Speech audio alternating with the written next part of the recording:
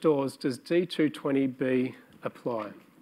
This is the provision which requires particular doors to swing in the direction of egress. And the intent is to ensure that should crowding occur at the door, um, it's hard, when there's crowding, it's hard to pull the door towards you. Swinging it away from the direction of egress, in the direction of egress allows people to get out. And people would be aware that there's been some horrible um, tragedies on account of swinging doors. So using the same floor plate, which doors here must swing in the direction of egress? We've got the actual exits. I'm sure we all agree that these must swing in the direction of egress when we get into the exit here and also this door in a required exit. But what about this door?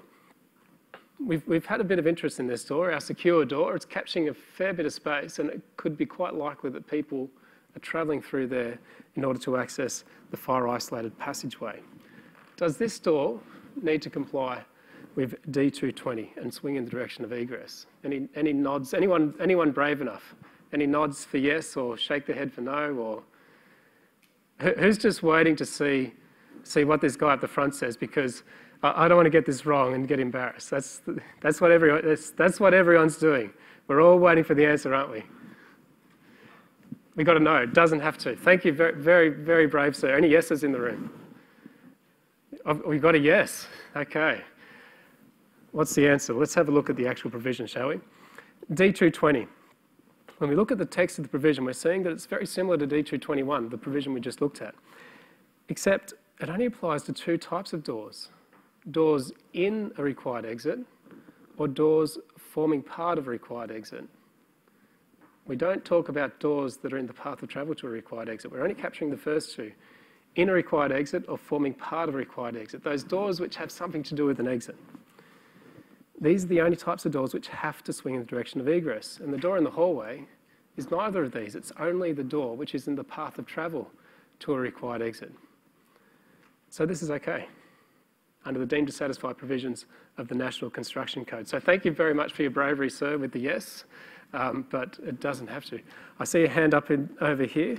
Um, I will take questions in a moment. Just give me one slide, please, sir.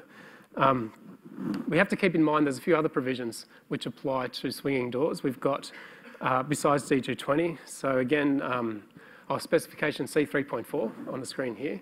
So when you have your smoke walls and a smoke door in your smoke wall, this is in your hospitals, aged cares, and your corridors more than 40 metres, in accordance with C214 in your class twos and threes.